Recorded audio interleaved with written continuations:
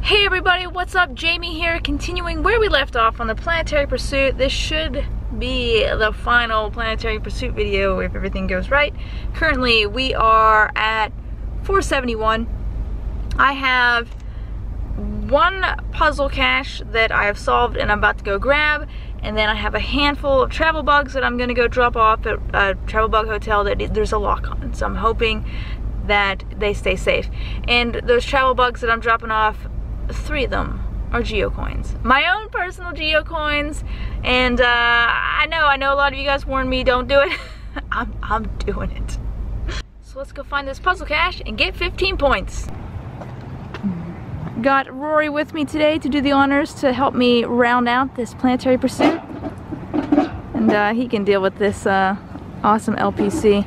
Ever so quiet. At least this one's kind of hidden in some trees. There's like, there's this tree in the lane. Hey, I see it in there. I see it in there. Look at that. Look at that beaut right there. That's a puzzle solved right there. There's 15 points. That's a, that's a lot of bag. So that's a lot of bag for just the tiniest of logs. Alright guys, we're at the official geocache monitoring station. It's got a lock. This is a travel bug hotel. I've been here once before. This is where I feel comfortable dropping off some geocoins because I, like I said, I don't think somebody's gonna muggle it. They, they can't muggle it, but doesn't necessarily mean that a, a, a newer geocacher won't take it not understanding what it is. Alright, so we got the trackables travel bug bag here in this hotel. Check this out. There's perler beads in there. Normally that would be perfect swag for me to take, but I got a ton of perler beads. Alright, here is one travel bug being placed. Another travel bug with a little whistle. And then here we go, guys.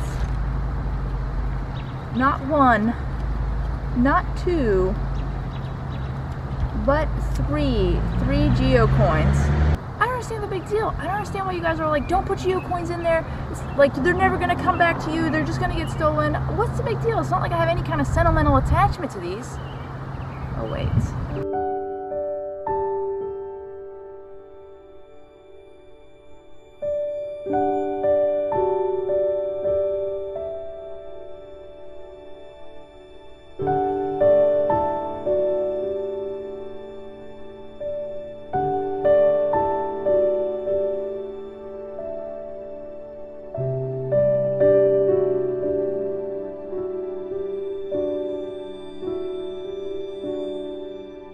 Alright, in all seriousness, this is why I'm releasing these specific ones. So this one I actually have a double of. Uh, this one I also have a double of, and this was bought specifically for me to put out in the wild. So I need to do that. I need to hold on. Uh, need to hold true to what they bought this for me for. And this one, eh, I really have no emotional attachment to this one. It was just given to me in a swag bag, and uh, why not? Let's just see where it travels. And to try to help keep them from getting stolen, is I put this little message on the back of all of them. Maybe it'll help, maybe it won't, uh, but we'll see. All right, let's go ahead and drop these off and see where we end up on the planetary pursuit points. All right, guys, time to update the points. Hopefully I did the math right. what was that one puzzle cache and then dropped off, how many travel bugs? I dropped off five? Five, I think. All right, updating the score, spinning, spinning, spinning. Yeah, 506 points. There we go. We have uh, officially landed on Pluto and then got the bonus, what is it, Space Explorer um, uh, souvenir. Man, uh, okay, so I'll give you my final thoughts on this and it's time to celebrate, Rory. We're Space Explorers. Well, mostly I was a Space Explorer, but you tagged along on that last one. I appreciate it. Thank you. It was awesome. You made it to Pluto. Was Pluto pretty cool? How'd I, how'd I skip all the other stuff and just land on Pluto? You're That's just a good astronaut. You didn't need to land on each one along the way. Okay, that's, I guess. All right, guys.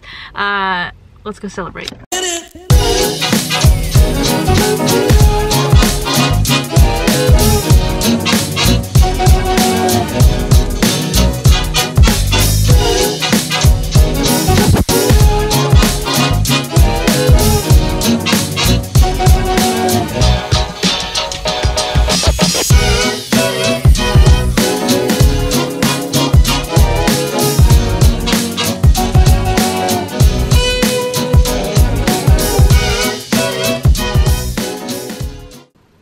So final thoughts on Planetary Pursuit. Uh, first off, I enjoy that it was space themed. I enjoy space, you know, the whole Stardust name. I do, I truly do enjoy space. And I think it's very interesting.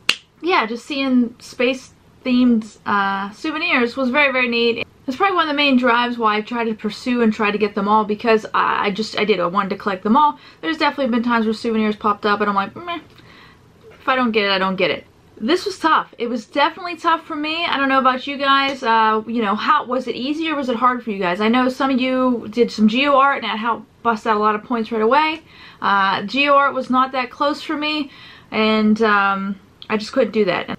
I know you could do power trails. I don't, I need to look up to see where some are. Again, I don't think there are any like super close that I could just do.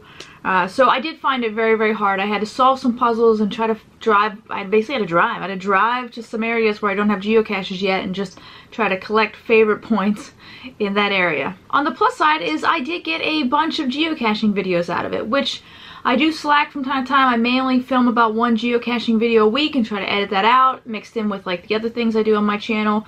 So I got more videos out of it. But again, they're when you're watching them, they're still going to be pretty spaced out it did burn me out. I, uh, you know, when I finally hit that 500, I was like, I can take a rest now. I do not have to get out there and try to push for these geocaches.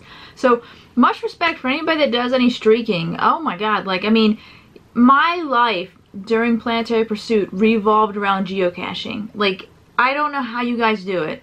That just, like, Geocaching was a priority first and foremost for anything I did during this time so I could try to accomplish and get these souvenirs before time ran out. I will say overall I did I did enjoy it. Uh, you know, I like the idea of having something else to strive for while I'm geocaching. I always keep thinking about that, like what can geocaching do to implement additional stuff to make us continue to be interested. You know, like Pokemon Go now has like research where there's things you can do each day to unlock more stuff. But I don't I don't really know what you could do in geocaching to unlock more stuff. Let me know your thoughts below on what you thought of the Planetary Pursuit. So that's where I'm gonna go ahead and end this video, guys. So if you haven't already, go ahead and hit that subscribe button. Uh, you know, obviously leave a comment below. I've asked you some things on which you could answer in the comments below. Um, also give me a thumbs up to let me know you like the video and until next time I will see you later. Bye.